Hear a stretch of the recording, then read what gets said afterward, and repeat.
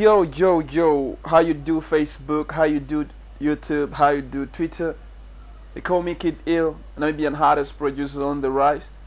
And today I just knock off right now at uh, 5.22, today on the 23rd of February.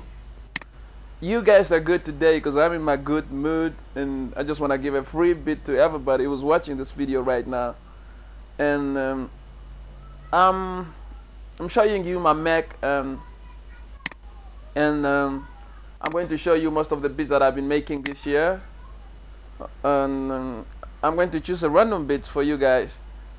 And it's either you use it for your own um, recording or whatever as long as you give a credit to Kidd Ill.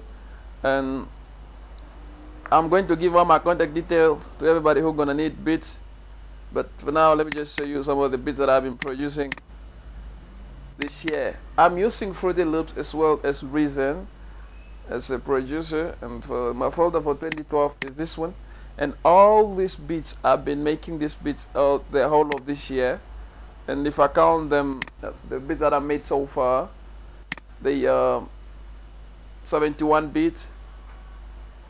This year I made so far uh, 71 beats. Uh, the bits that I'm gonna give today is called Standing in the Spotlight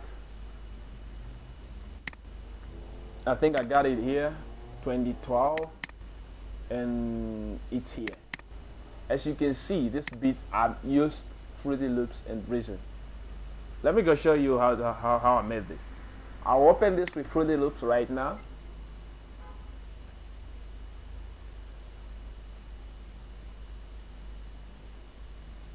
Then I've used the rewire mode.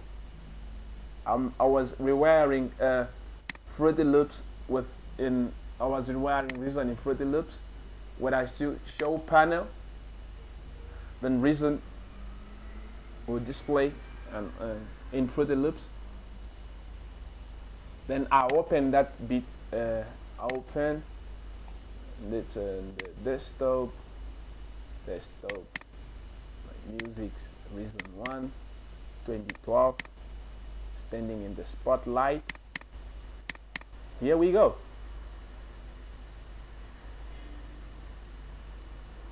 Now I'm using rewire mode in Fruity Loops.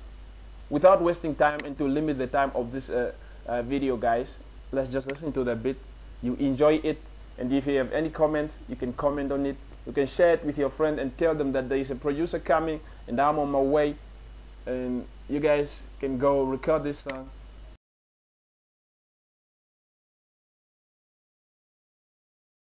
let's listen to this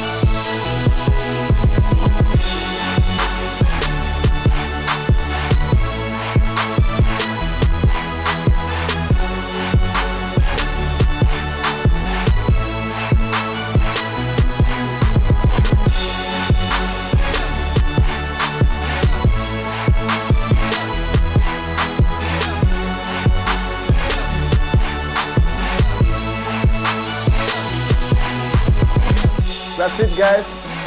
The beat we keep on playing and playing and playing and playing and playing. Uh, just before we waste time, I'll told you I'm gonna give the link where you guys can download this beat. I'm only giving an MP3 uh, uh, file. If you want the, the real file, like the Fruity Loop file, uh, you guys can contact me and email me or inbox me on my Facebook or on my Twitter, on, on my YouTube. I'm gonna give all those links at the end of this video. You guys, and the link for this, uh, where you can download this uh, beat.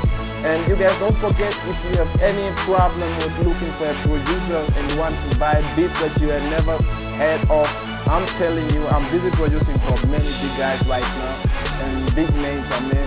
And um, you guys can always come, you know, where my studio at. And if you don't know, you're gonna ask follow me wherever I'm all, on all my free net, uh, social network. And you guys enjoy the beats, it for your own whatever.